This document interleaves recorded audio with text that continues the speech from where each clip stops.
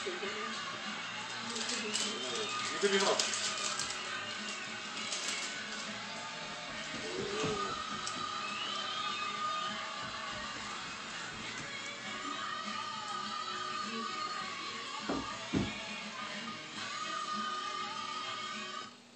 If Ramon is there for Karen, you know I'm always there for Street.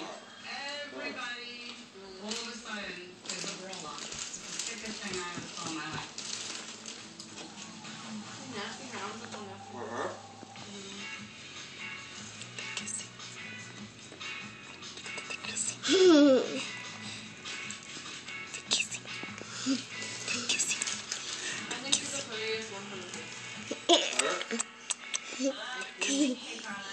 Oh no, the other one is.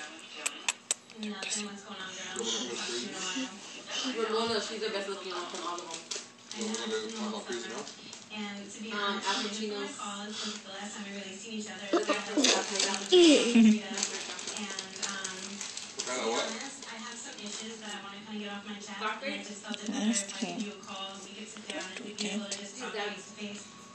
The movie is based on his dog. I don't know why Karen wants to speak to me. Obviously, she's mad about something. So I guess this is another sit down I'm going to. I think I have some things that I feel like I need to get off my chest. There's some issues with Yeah. things went down, and I think it's time you and I get together and we can just talk so it doesn't get mixed up. So basically, we can both lay on the line how we feel. Okay.